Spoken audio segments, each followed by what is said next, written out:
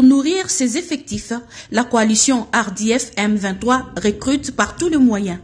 En plus de la ruse, il y a des jeunes qui témoignent avoir été pris par force.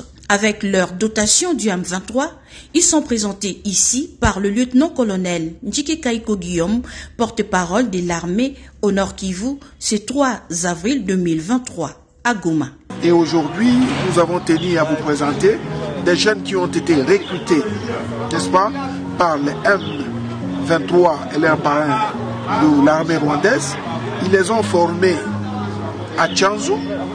Finalement, c'est des jeunes gens que vous voyez ici, vous voyez la tenue, qu'elle est bel et bien, la tenue de M23, se sont décidés de revenir à la raison. Eh bien, pourquoi Ils vont vous le dire.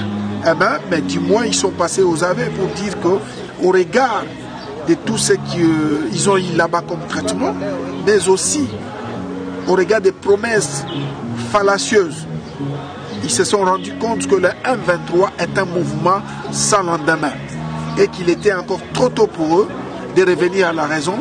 Donc, euh, c'est comme des enfants prodigues.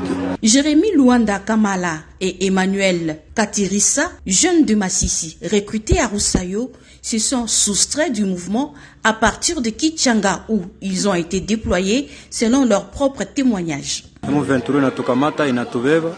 kumbe naye ni politike yake tu, iko sali kwa shakula makuta kiye tena kufika kula katutoroka katuacha kula.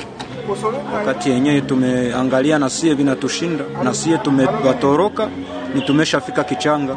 Njo kwa sasa kama tuko ku guvernema, njo tunataka guvernema ayo peke njo yaamue kama ni kutuua, kama watatufanyizia ye wanataka, lakini ni hatuko tena kuwale waadui walikuwa walishakatubeba. Face à cette situation, le porte-parole de l'armée au Nord qui vous prévient les jeunes quant à la malice de l'ennemi. La jeunesse, euh, surtout la jeunesse de notre province, doit être très prudente de manière à ne pas